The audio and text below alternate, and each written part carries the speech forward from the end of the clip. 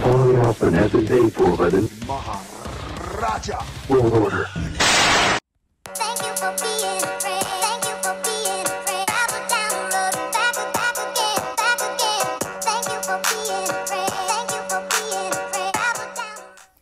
Hey everybody, Goldie here with a video for the kickoff of the Wild Ones MLC. I'm gonna do a couple different things in this video. The first is going to be maxing my talent up. The second is going to be a roster scroll and a bit of a conversation about roster focus. And the third thing I'm going to do is talk about the MLC itself, uh, what my thinking is, what my plans are, what my strategies are, etc. So let's start with the talent up. I am working on my women, um, as everyone should. Um, but I'm doing the uh, the many faces of Charlotte Flair. Um, I got Acro Charlotte from the Portal trivia a while back. I have all three gears for Showboat Charlotte, and at five star, I'm really intrigued by Zombie Charlotte. So I figured I would take all of them up. Um, so I dropped about 23 mil to get Acro Charlotte up from level one. Uh, so that accounted for a good chunk of my talent up. So taking Showboat Charlotte and Powerhouse Charlotte to five star bronze will max it for me. And I'm also going to evolve Acro Charlotte at this point. Um, it won't get me a whole lot of points, but I'll have already maxed, and I'd like to work on her throughout the month. So let's hit the button.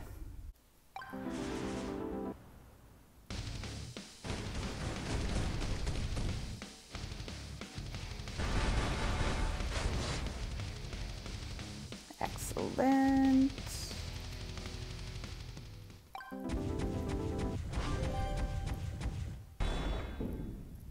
So at five star, she gets the backpack stunner, which is a yellow move and does damage for every multiply gem. Uh, so that'll be fun to play around with. I think I'm going to stick with this setup I have for her right now. Uh, but I'll tinker around. I'll probably do another gameplay video on her now that she is five star and she's got all three gears. Um, yeah. So uh, the gear boost is multiply gem strength generated, not like multiply gems do more damage. So it won't affect that five star move. But again, I'm still curious to see what it does and what the kind of power I can get. Um, so that makes her my third five star woman. And taking up Zombie Charlotte will complete a League 17 task for me. Um, I'll have 10 superstars at five star bronze.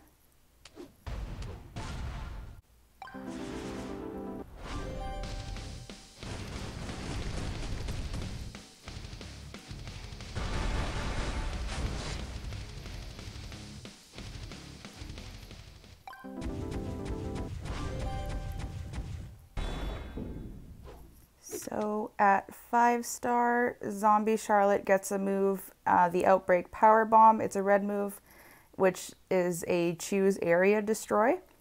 So she could be fairly fun um, to run triple red with um, either Sting or Butch and Zombie Austin for the sub, um, X Pac as a coach uh, Ray for more blast gem damage. That could be a lot of fun. I will definitely be doing a five star gameplay video on her. Um, similar to Big John Studd, I like characters that blow up the entire board. So I'm very excited to play test this build and see what we can do. I do have WrestleMania straps on all three of my Charlottes as well. So that's a big reason for the push. And Acro Charlotte, I don't have enough tokens to take her um, five star bronze, I don't think. And even if I did, I don't have enough TP. But she's definitely going to be pushed throughout the month.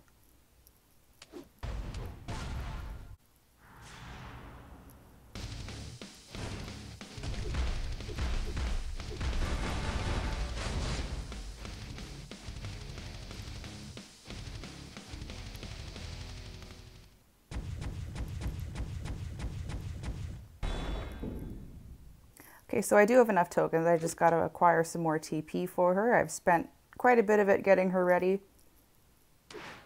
Again, somebody that I'll be pushing to 5 star. Uh, the big boot that unlocks at 5 star is a 3 MP move that deals flat damage. So similar to DX Chyna's 1 MP move at 5 star that just smacks people every turn. Um, Charlotte's has that as well, but it's 3 MP. So that is um, that's my talent at maxed, the many faces of Charlotte Flair. So let's go see what kind of skill plate. Yep, maxed, little over. That's okay. Again, the first nine milestones were from putting levels into Acro Charlotte and um, unlocking perks. And yes, I collect the milestones one by one. Fun to see what you get individually.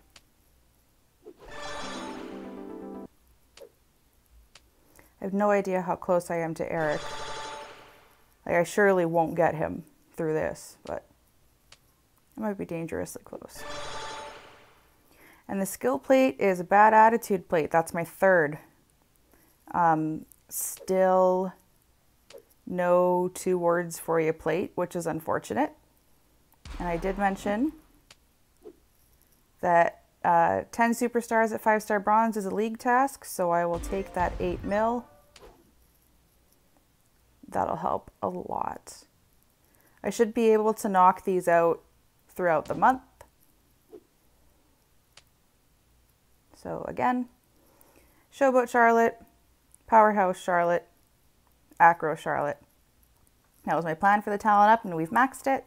So let's move on to a roster scroll. So for my roster scroll, I have, let's take a look, go by rarity. So I've got four women at uh, five star bronze now. And I've got three men at five star silver and three men at five star bronze. Um, I think my bases are pretty well covered. Um, I have a five star of each class. Um, I've got an Attitude era, I've got two Modern, two Legends, and a Ruthless Aggression era in five star. Um, for women, a, re- a Reality era, a PG, and two Moderns, plus two Zombies, and just need an Acro and a Tech. Um, so those will be Acro Charlotte will definitely go five star. And I don't have gear for Becky. So my plan is to work up Rhea Ripley. Um, and now that Charlotte, the showboat, is five star, my plan is to work on Mickie.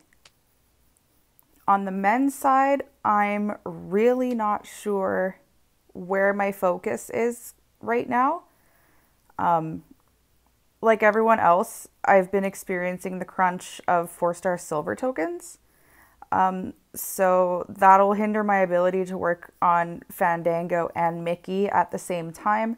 But I do want to work on Fandango. I would like to take up Lex, but I don't have a head games plate for him. And it's kind of a mess from there on out. Um, I really have to check. Obviously, uh, Daniel Bryan needs to go up. Um, but for instances like this, I do have a roster focus sheet. So I've made this to um, kind of keep my priorities in line. I have it sorted by era and by class.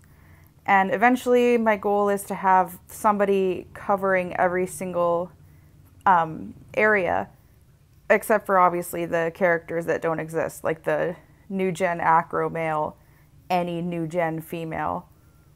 Um, so I will make this editable and I will make the spreadsheet public and I will put the link in the description of this video so you can use this yourself if you feel you need some kind of help with uh, keeping your roster in track Again, my focus is pretty set for the women's roster.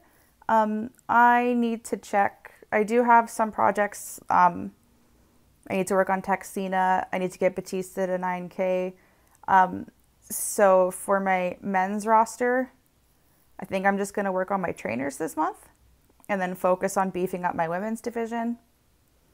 Um, let's move into MLC plans as well. So, my plans for the MLC, I'm not entirely sure yet if I'm going to fully commit to chasing. Um, the skill plate for maxing the MLC is a honky tonk blues plate, which would be fantastic for Acro Charlotte. Um, but I never really get close to maxing an MLC. I find I don't have enough of the bonus characters or what have you. I don't spend. I'm not VIP. I I find um, without like after the second week or so, I kind of have a sense of if I'll do it or not. Um, my resources are a little low, so I'm not sure how far I'll take Sika. Um, I will absolutely take him to 5K for his trainer ability. Um, I do think that this, or sorry, coachability. Um, this would benefit Bayley at five star if you run her with the submission move, uh, because you could run her triple blue, little chaotic, but you could run her triple blue with the sub because her sub leaves color turn gems on the board, and therefore that would make her finisher stronger. Off the top of my head, I can't think of anybody that I use with a blue sub. Um, Bayley is definitely going to go five star bronze um, next talent up, anyways. I have everything ready for her. I was just focusing on other people.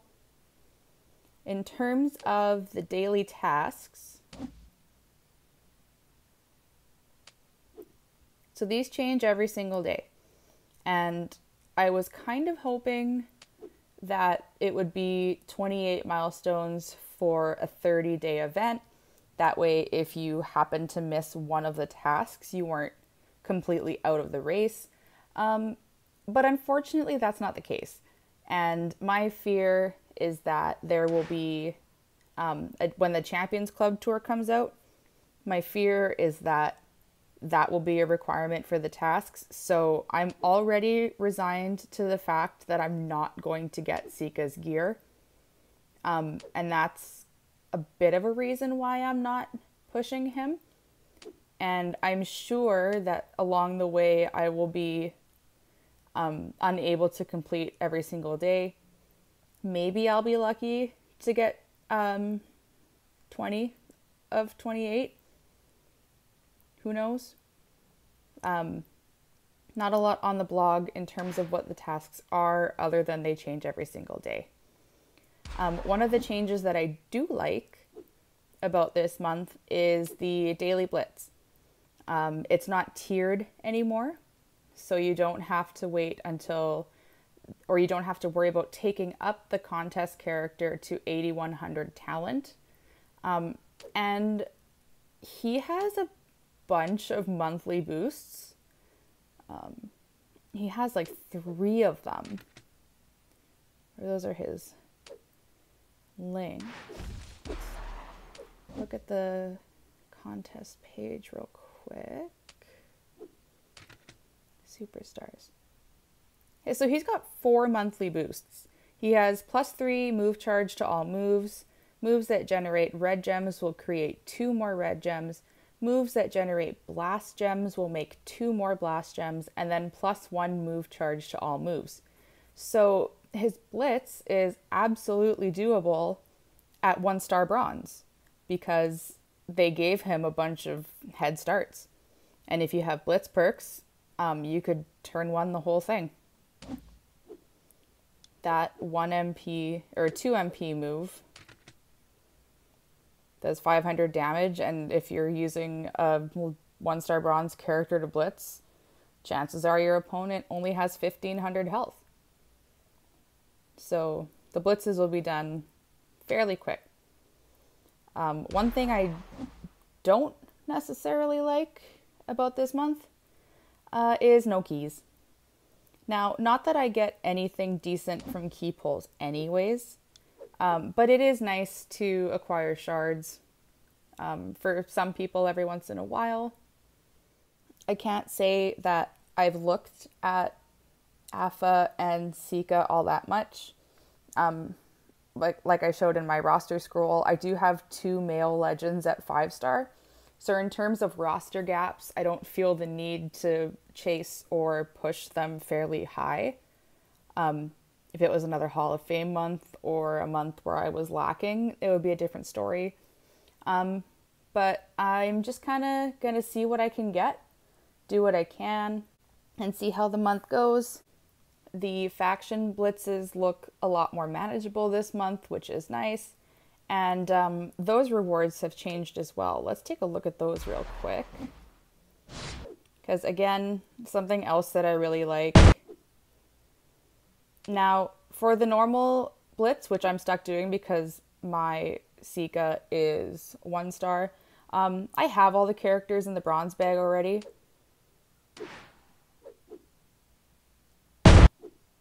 But the, the bags do change when your Sika is two star and then three star. Um, and there's faction points in the blitzes. So in lieu of keys, which would have given us faction points last time, they've just given us the faction points in the blitz. Um, so yeah, that's kind of my first impression thoughts on the MLC. Let me know uh, how your talent up was. Let me know uh, what your roster is looking like. Let me know what your plans are for this MLC. Are you chasing? Are you hoarding? Are you just kind of going with the flow like me? Let me know in the comments or on Twitter or on Discord. Thank you very much for watching this video. Be sure to like, share this with your friends, and subscribe so you're notified when my next video comes out. Thanks again for watching. Take care.